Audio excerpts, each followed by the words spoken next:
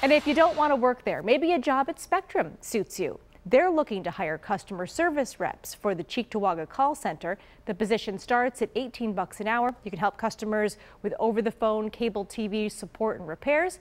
The drive-through hiring event is going to be held Thursday at the call center at the Apple Tree Business Park on Union Road. We have a web story posted for both of these hiring events. You can see them online or on our app.